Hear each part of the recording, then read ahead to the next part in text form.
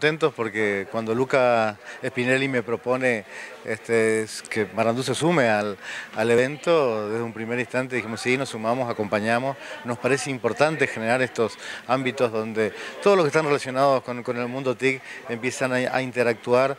Eh, eso permite ideas nuevas, eh, intercambio de contactos y va potenciando todo el desarrollo TIC de la provincia. Estamos trabajando para una provincia TIC, dando eh, las facilidades, la conexión, la tecnología, entonces tenemos que propiciar estos encuentros.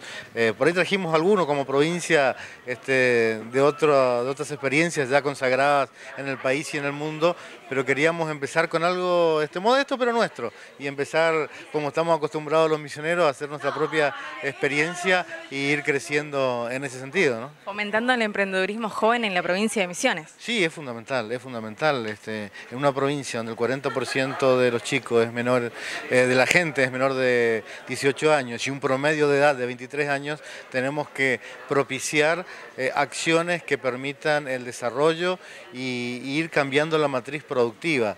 Este, de esta manera este, nuestros chicos pueden ser trabajadores del mundo. Siempre decimos que con dos cosas, el talento más la conectividad, pueden ser trabajadores globales y realmente exportar en, conocimiento para el mundo.